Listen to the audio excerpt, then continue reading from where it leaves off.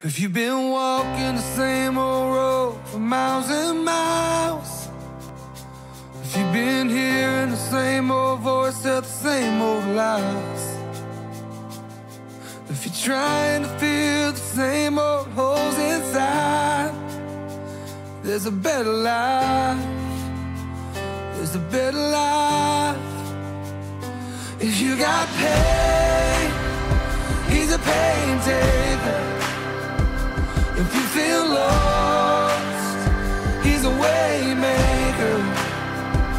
If you need freedom, a savior, he's a prison shaking savior. If you got chains, he's a chain breaker.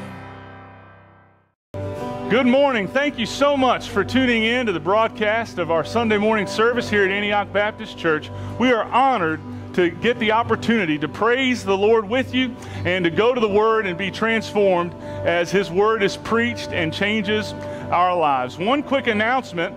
Uh, tonight, we are going to honor the graduates here at the church. Uh, starting at 4 p.m., we're going to have a drive through uh, graduation celebration. So, we've got six graduates from the church that we're going to be celebrating. Seven, I'm sorry. Seven, we're going to be celebrating their graduation.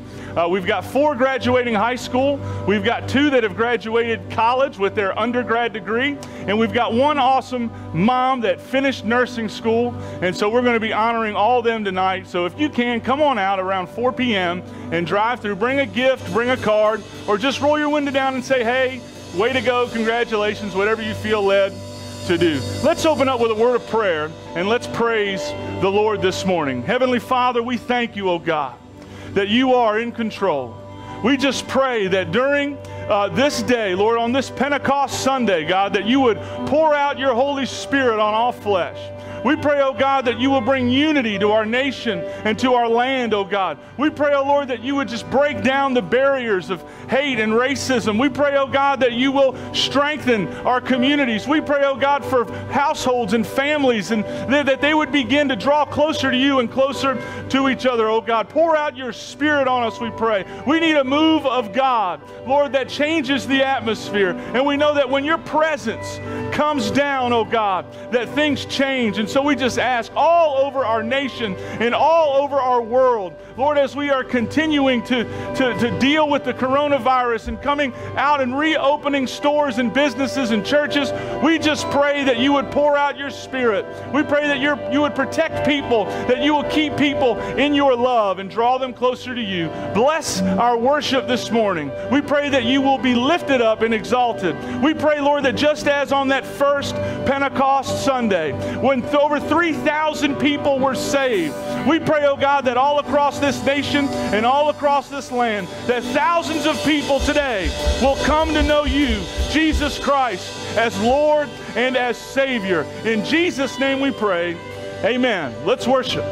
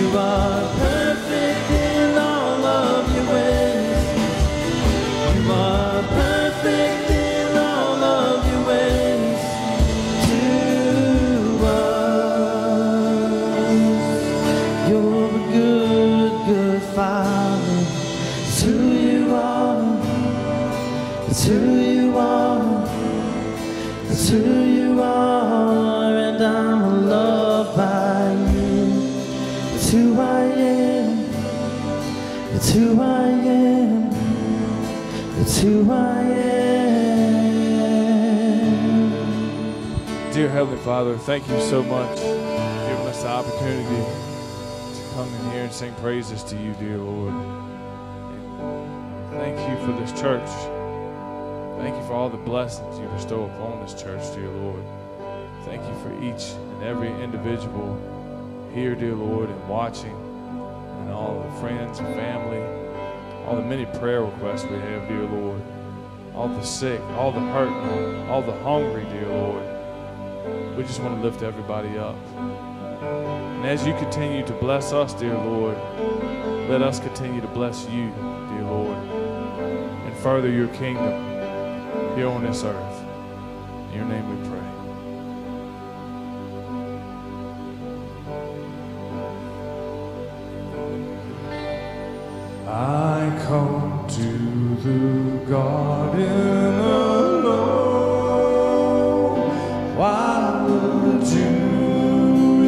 Still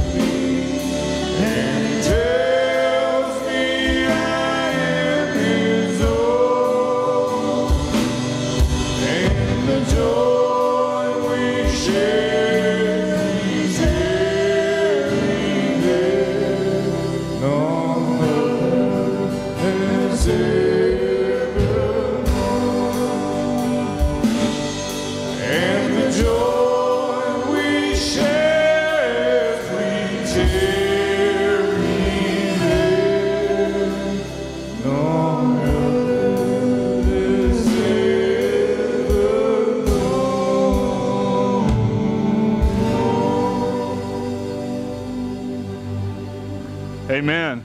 Amen. The joy of that relationship with Jesus. Thank you so much, worship team. Want to continue to thank them and the video team and the AV team. Thank everybody so much for continuing to come out every week so that we can bring this live stream to you. Thanks again for tuning in and joining us.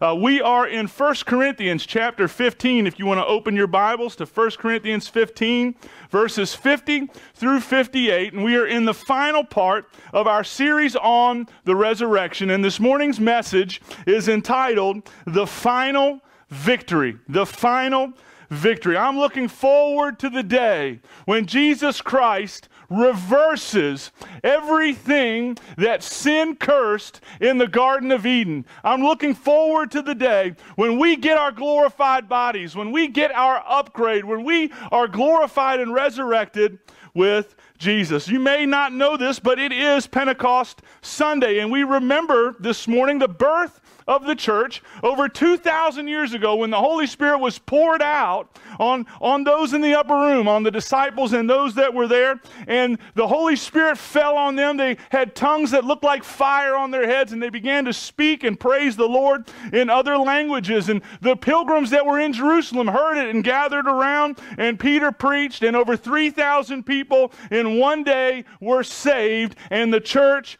was born. And Jesus said in Acts 1 8, You will receive power when the Holy Spirit comes upon you, and you will be my witnesses to Jerusalem and Judea and Samaria and even to the othermost parts of the earth. What started there over 2,000 years ago is still alive and well here in America and all over the world. The gospel is being preached. That word power is the Greek word dunamis. It's where we get the word dynamite. It's a dynamic power, and the Bible says that the same Spirit that raised Christ from the dead dwells in you and will quicken your mortal body. So on Pentecost, what a great Sunday to talk about the resurrection. We need that resurrection power today. Now, Paul is wrapping up his teaching here on the resurrection. He was addressing the Corinthians' disbelief in a bodily resurrection. He assures them that because Christ has been raised, they would also be raised. And he closes this chapter with some of the most eloquent and powerful words contained in the whole of Scripture. And I love it. Death will be swallowed up in victory. Oh, that final victory. Thanks be to God who gives us the victory through Christ Jesus our Lord. And last week we looked into some of the details of the glorified body and how they're different from the earthly body. And we talked about how, praise God, there's going to be a, a U version 2.0. You're going to get an upgrade. God's got a better plan in the works. Now, we looked at how the earthly body is perishable, but the heavenly body is imperishable. The earthly body is sown in dishonor in this sinful world, but the heavenly body is raised in glory. The earthly body is sown in weakness, the heavenly body is raised in power. The earthly body is natural, but the heavenly body is supernatural. The earthly body is from the dust, but the heavenly body is from heaven. Praise God, you got a heavenly body coming. Remember what Jesus said in John chapter 5, verses 28 and 29. He said, Do not be amazed at this, because a time is coming when all who are in the graves will hear his voice, talking about God's voice, and come out. Those who have done good things to the resurrection of life, and those who have done wicked things to the resurrection of judgment. No matter what anybody says, there will be a bodily resurrection. There will be an eternity, another life after this life. It reminded me of a story I read about a tree called the resurrection tree. And in a cemetery in Hanover, Germany, there was a grave on which they placed huge slabs of granite and marble, and they cemented them together, and they fastened them with heavy steel clasps. Now, this grave belonged to a woman who did not believe that there was a resurrection from the dead. Yet, strangely, in her will, she directed that her grave would be made so secure so that just in case there was a resurrection, it could not reach her or affect her. She had this, this grave constructed that was supposed to be impenetrable and indestructible. And this is what her grave marker said on her gravestone. It read, This grave shall never be opened. Now, little did she know that on her burial spot there was a little seed that had gotten covered up by the rocks that was underneath the slab. And this little seed began to grow. And as time went on, it slowly pushed its way through the soil and out from the stones beneath them. And as the trunk of the tree enlarged, it, the great slabs were gradually shifted and the steel clasps were wrenched out of their sockets. That tiny seed became a mighty tree that broke her grave wide open. Now, the dynamic life force that was contained in that little seed is but a faint reflection of the power that is contained in God's word that one day He's going to call back to life all the bodies that are in the grave. He will bring back every person who's been drowned at sea or cremated or, or their bodies were destroyed in some other way. Their wife fed them to a tiger. However, it happened, God's going to bring all those bodies back. And remember, it's not a problem for the one who creates something out of nothing.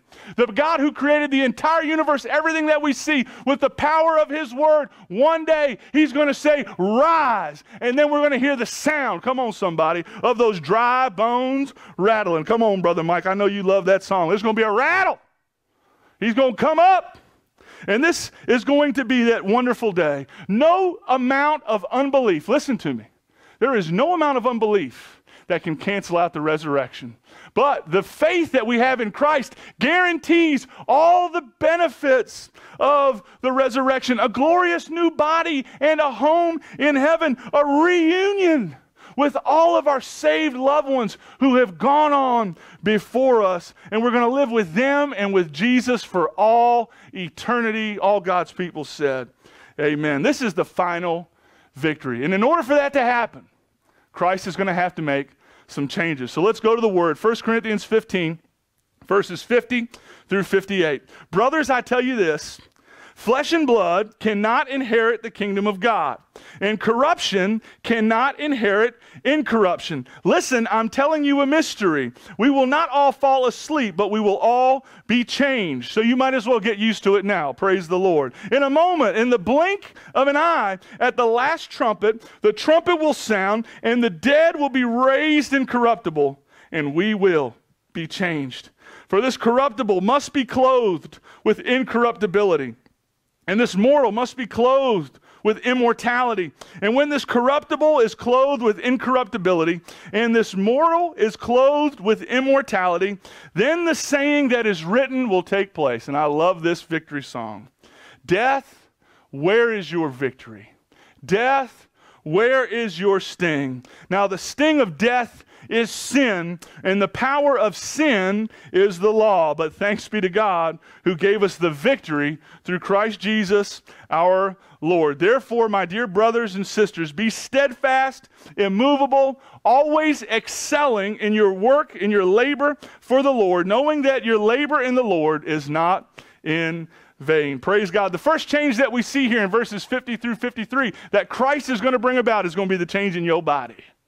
It's going to be the change that happens in you. We said it last week. You are a transformer. You're a celestial in disguise. And just as a caterpillar changes and weaves a cocoon and changes into a beautiful butterfly, one day you're going to experience a metamorphosis and you're going to fly away. Because he says flesh and blood cannot inherit the kingdom of heaven. There has to be a divine change, there has to be a switch. Just like there is a change in your spirit, man, when you receive Christ when you accept Christ as Savior and profess Him as Lord, repent of your sins, the Holy Spirit touches your spirit and brings it to life. And just like that happens in the spirit when you receive Jesus, there's also going to be a change in your body when you enter into the new creation of God. Remember, our salvation is past, present, and future. It exists in every tense. We have been saved. Come on, somebody. We're being saved right now, and we're going to be saved. And you see this. Your salvation is going to complete your body, soul, and spirit. Remember, God's three in one. You're three in one God the Father, God the Son, God the Holy Spirit. You're three in one body, soul, spirit. Salvation is three in one. We see in salvation, when we're born again, regeneration and justification immediately in the Spirit. We see in our soul, we see sanctification, where we are daily renewing our minds and our emotions. And one beautiful day in the future, we're going to be glorified. We're going to be changed in the moment, in a twinkling of an eye. On that day, we and everyone else that believes on the Lord Jesus Christ will finally be free from the presence of sin. See, right now in Christ, we are saved from the penalty of sin.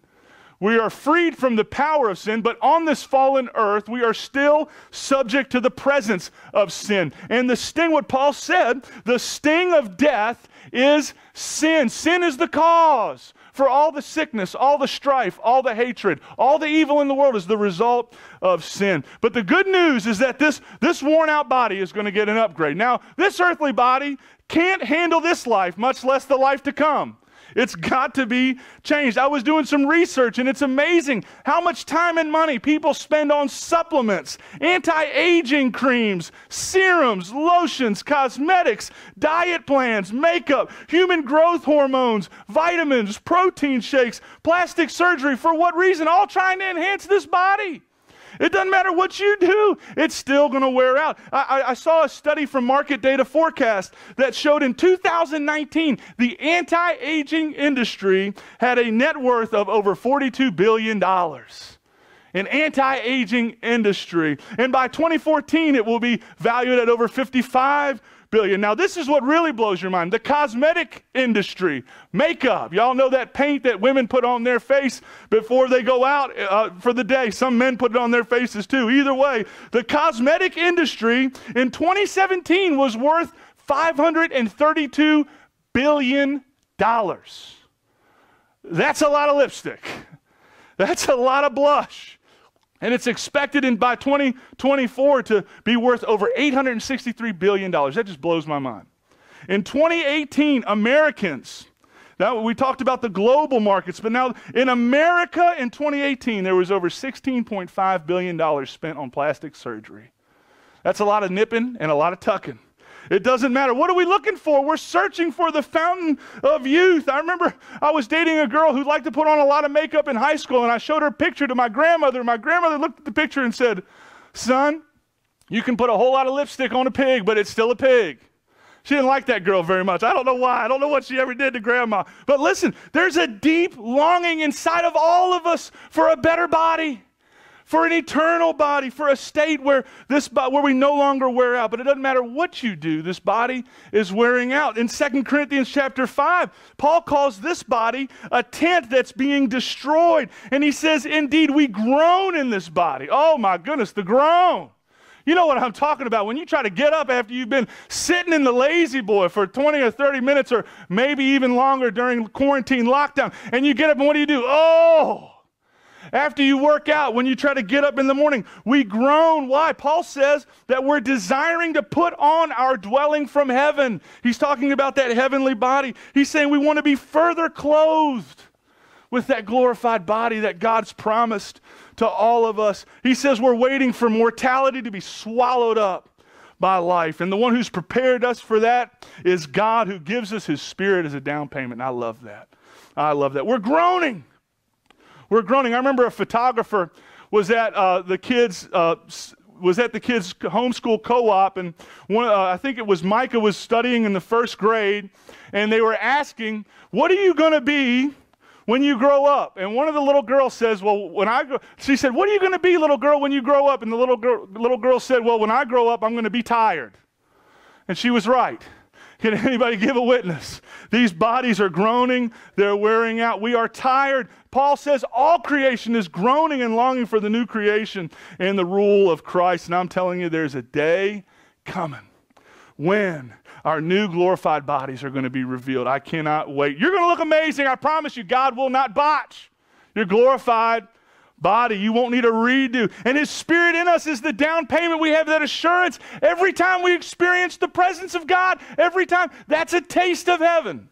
It's proof that God is going to deliver. We're longing for the day when that change finally happens. Now, Paul answers the question next when will it happen? Paul says, I'll tell you a mystery, meaning that he had a new revelation for the Lord. And he says, We will not all sleep, but we will all be changed. And that word changed is, is where we get, it's the Greek word, is where we get the English word metamorphosis. There's going to be a metamorphosis when? At the trumpet call of God, either at the beginning of the rapture or following the great tribulation. The God, Jesus, is going to split the sky and he's going to call all the believers home. Paul says that we will not all sleep. This is the biblical language for death. When the believer passes away and dies, they are absent from the body, their spirit and soul are present from the Lord. The Bible calls it sleep. Why? Because finally the spirit and the soul are at rest, free from the pain and the suffering of this world. It's important we understand the soul does not sleep, it goes to be with Jesus in heaven. And you say, well, what kind of body does it have? You don't need a body in heaven. God is spirit, you are a spirit, and when you go to be in heaven, you are clothed in the glory of God and in the presence of God. But the body is going to be reunited with the soul spirit in a moment, in the twinkling of an eye. That's the smallest measurable amount of time. It's going to be an instant instant change. You're going to look good faster than minute rice. It's going to happen just like that. In a moment, you're going to be clothed and, and, and reunited with a new glorified body. I, I believe that's going to happen at the rapture of the church. Now, we are going to go up, up, up, and away. Paul told them in 1 Thessalonians 4 that we will not go before those who have died, but that the dead in Christ will rise first, and then we who are alive and remain will be caught up. That's where we get the word rapture. Caught up to meet them in the sky, and forever we will be with the Lord. So, first, all those who have died before us. Now, the good news is, I love reading this. There is one generation of Christians that will never taste death on earth. Those are the believers that are alive when Christ chooses to call the church home. They're going to be instantly transformed and beam me up, Scotty. They're going to be in heaven.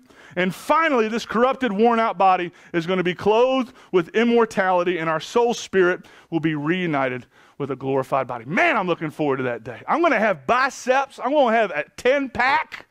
Looking forward to that glorified body. That's the first change, Paul says, that's going to take place. It's going to take place in your body. The second change he addresses in verses 54 through 57 is the change that's going to happen in the world. Oh, this is what we need, folks the change that's going to happen in the world. He says death will be swallowed up in victory. Don't we need this today with all the injustice and racism and corrupted governments and disease and sickness and strife and discord? You turn on the news and all you can say is, Come now, Lord Jesus. He is coming. And on that day, there's going to be a change in this world. The promises of perfect peace and harmony will finally be realized.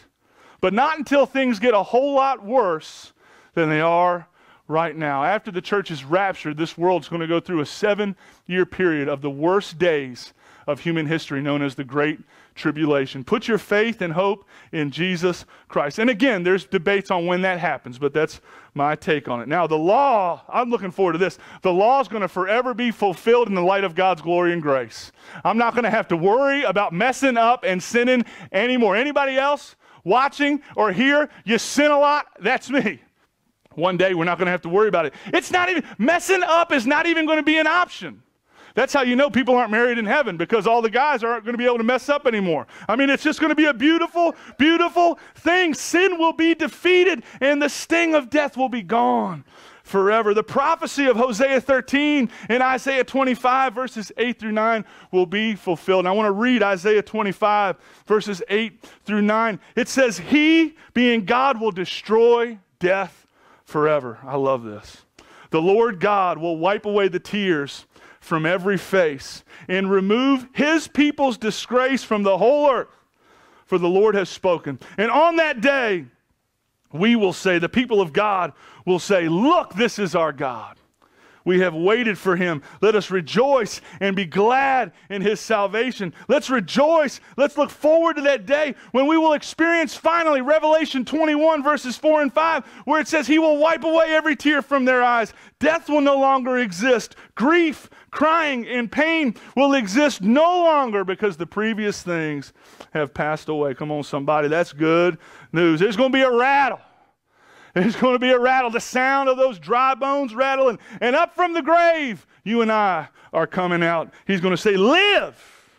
And we're going to rise. The one who is seated on the throne says, Look, I am making everything new. He also said, Write, because these words are faithful and true. Think about it this morning. No more funerals, no more surgeries, no more unexpected tragic death.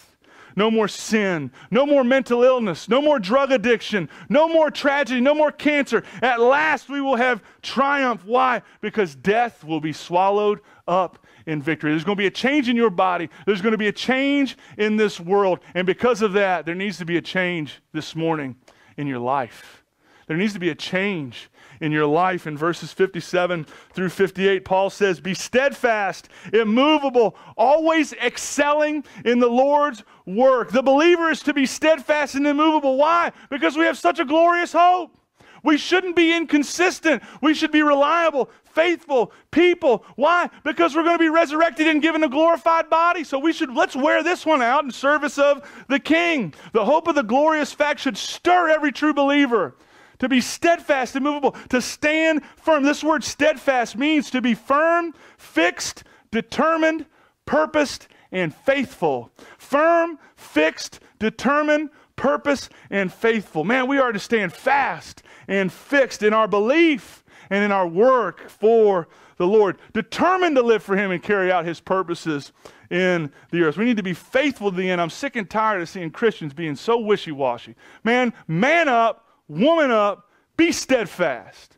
Stand fast, stand firm, and fixed. And I love the word immovable. Be immovable. It means to be unyielding, unshaken, and undisturbed. We're not to be fickle in our service for the Lord. We shouldn't be blown back and forth by every single headline. Listen, get a grip on the Word of God. Be steadfast and immovable. I mean, put your faith and trust in Jesus. Trust His Word over the Word of CNN and MSNBC and, and even Fox News, praise God. Trust the Word of the Lord.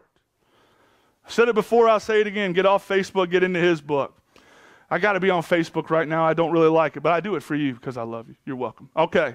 Don't be blown around by every single headline, by everything that comes on the paper, everything that comes in the news feed, every new picture, every new circumstance. Oh my goodness, oh my goodness, oh my goodness. No, I want to be unmovable, unshaken in my faith. Why? Because on Christ the solid rock I stand, all other ground is sinking sand. This word work and labor he talks about in verse 58. Always excelling in the Lord's work, knowing that your labor is not in vain. This word labor is the Greek word kopos, and it means toiling and working to the point of exhaustion and fatigue, even to the point of collapse. Now, when's the last time you worked so hard for the Lord that you were ready to fall over? That's how Paul lived. That's how we're called to live. The word means to never cease, to never stop, to never slack up, to never quit, to never retire. In other words, no days off. Every day is leg day. Get out there and spread the gospel for Jesus Christ. Why? Because we're going to be rewarded. It's not in vain. It's not purposeless. It's going to pay eternal dividends. Everything we do for God will last forever. Praise God. We're going to be given a new body. We're going to be given a new home. We're going to be richly richly rewarded. At every age and at every stage of life, make it your aim, make it your goal, make it your mission to exhaust yourself for Jesus Christ, working wholeheartedly. Now, yes, you, the good news is, is after you get exhausted, you can take a rest. Hallelujah. We're going to take a rest this afternoon after this service is over. But one day, we're going to taste the final victory of our God forever. Oh, come on, church. You got to get excited about heaven. It's crystal clear from this passage when you read it that the Apostle Paul fully expected Jesus to return in his lifetime. He thought this was going to happen before he left the earth, and he gave all of his effort for the gospel. It's time for us to live like the Apostle Paul did. We need to live this life in light of the life to come. And this closing story I want to share with you, and I want to encourage you because I know the effects of sin. I know the effects of death. I know that we grieve and we suffer, but we cannot let the effects of sin and death in this world have a greater impact on our life than what's coming in the world to come. We got to keep living. We got to keep serving God. Don't allow death and defeat to, to shipwreck your faith. Continue serving the Lord. In 1992, there was a couple named Rosemary and Luther Smith. They were from Kentucky. And on the same night, tragedy hit their home when they lost both of their sons in a tragic accident. Both sons dead in an instant. Rosemary says this brought a darkness over her life like nothing she had ever known. Yet she found peace and hope and solace in her faith. While she's following the hearse, two hearse in this funeral, containing the bodies of her young boys, she remembers hearing the church bells toll 33 times. 33 times. She remembered, as I sat there and counted, she says, it hit me that when Jesus died, he was 33 years old. And the combined age of her two sons was 33. In this moment of life shattering grief, God comforted her. And it led Rosemary and her husband to begin a ministry called Fellow Travelers. This was a ministry to other parents who had lost a child. She says, I know now that I have no higher purpose than what I am doing. And the death of my sons led me right into the will of God for my life. Every day, Rosemary and her husband read the newspaper and search the internet for children's obituaries. When they find them, they reach out to the families and to the parents and they send them gift packages with encouraging notes, with CDs, with books on grief and offers for free counseling. And she says that today they get over 50 emails every single day with people requesting one of their packets and they respond to each and every one. They have sent, they have sent over 10,000 packets to date all over the world, paid for by them. Rosemary says, It gives me great joy to know that I allowed God to take me in my lowest moment, and I allowed Him to use that to open the door for a whole new destiny and purpose serving Him in my life. When life tries to crush you, you got to hold on to your faith. You got to hold on to the hope that one glad morning when this life is over, we're going to fly away, and every wrong will be made right.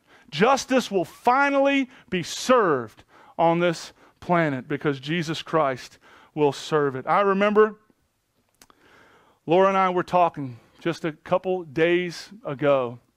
It was the 10 year to the day, 10 year anniversary of when Laura and I lost our first child. We were at a dance recital for my oldest daughter, Madison, and we finished the recital and we went out to eat uh, at a restaurant in Pantops in Charlottesville. And Laura just got this overwhelming pain. She didn't feel right. She went to the bathroom and she had a miscarriage and she passed the remains of our child in the bathroom at that restaurant.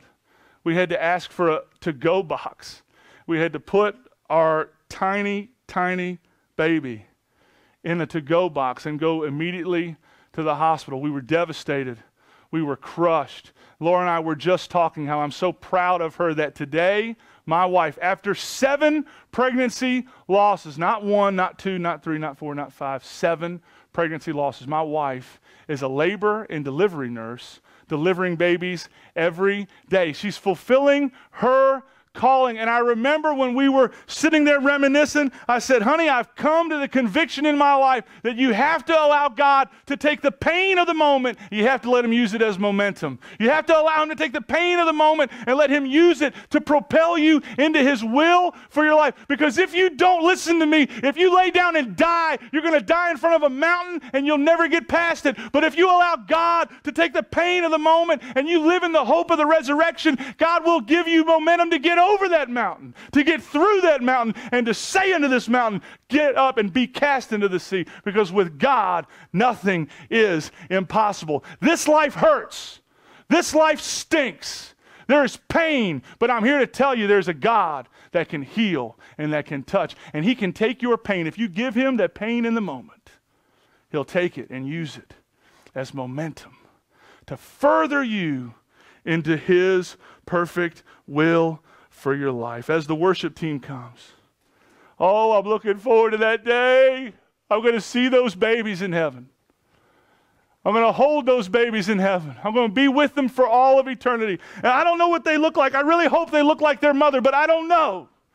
I know that they'll look good because they're in heaven, but I'm looking forward to that day when the grief and the pain and the suffering and the sorrow are no more. Listen, look forward to eternity. Put your hope and your faith in Jesus Christ because death is not the end of you. This situation is not the end of you. This pain is not going to be the end of you. No matter what's happening to you or around you, stand firm and stay faithful. Keep your hope and faith alive, focused on the glorious life to come. You need to go into that garden you need to go into that place of intimacy where it's just you and the Lord and give Him that hurt, give Him that pain, and He will give you the strength and the comfort that you need, knowing that one day death is going to be swallowed up in victory. Death, where is your sting? Death, where is your victory? Thanks be to God. He's given us the victory through Christ Jesus our Lord. And that final victory will be done once and for all. As Revelation 21 6 and 8 says, And God Almighty said to me, It is done. I am the Alpha and the Omega, the beginning and the end. I will give water as a gift to the thirsty from the spring of life. The victor will inherit these things. I love this. You're a victor. You're not a victim. You're victorious in Christ. And I will be his God, and he will be my son. But the cowards, the unbelievers, the vile, the murderers, the sexually immoral, sorcerers, idolaters, and all liars. Their share will be in the lake that burns with fire and sulfur, which is the second death. There is a day coming when you're going to wake up and never go back to sleep. If you don't put your faith and trust in Jesus Christ, if you don't have a changed life, if you don't start living for the Lord, firm, steadfast, immovable, working for God, because you've been saved by His glorious grace, and His glorious grace has fulfilled the law. Now we're accepted as righteous because of Christ. Come to get a drink of that life giving water from your Heavenly Father today. Repent of your sins, call on the name of the Lord Jesus Christ, and you shall be saved. And for all the believers out there, stop being inconsistent, stop wavering. Let's be firm, let's be immovable, and let's excel in the work of the Lord, knowing that what we do for Him is never in vain. Let's sing that song in the garden one more time.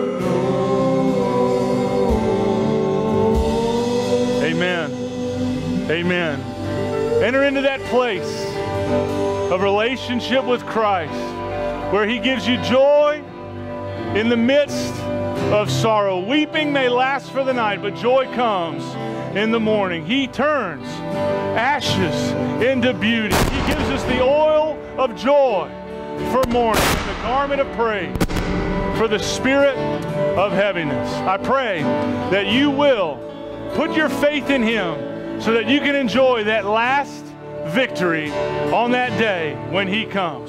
God bless you. Thank you so much for tuning in this morning, and don't forget to come back this this this evening, late late at late afternoon, early evening, around 4 p.m. from 4 to 6, to honor and celebrate with the graduates of Antioch. God bless you. Enjoy the weekend. Go in the peace and joy of the Lord.